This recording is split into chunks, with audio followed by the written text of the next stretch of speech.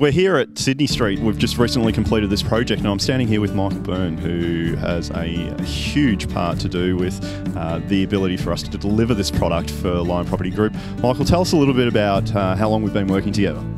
Um, I got introduced to Garry and the team at Lion Property about February, March this year. Um, this project had a few difficulties, but we got involved in it, took it over, and here we are today when it's all completed. I think Michael's actually been quite modest there. There were quite some significant hold-ups that uh, we had to face in order to be able to deliver this product, and um, thank goodness that we crossed paths because Michael's done an amazing job in being able to help us rectify where we were uh, and still be able to deliver and be able to um, deliver on the commitment that we made to our investors also. So, uh, Michael, beyond Sydney Street, what, what are we also working on together?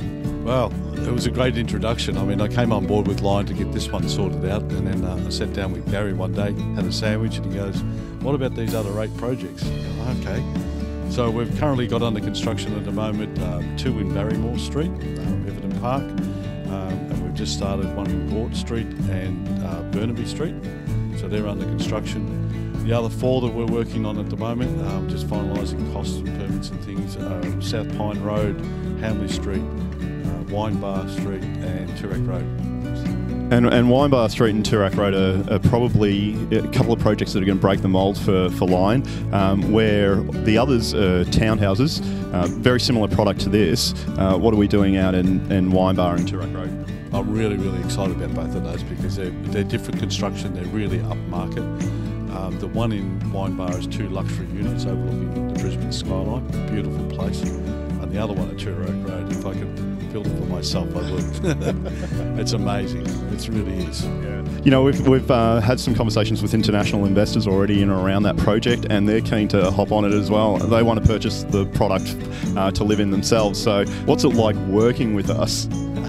working with Lion is actually good. It's um, I'm originally from Melbourne, so um, I understand Melbourne and, and, and what goes on down there. But um, even working with them remotely, it's great.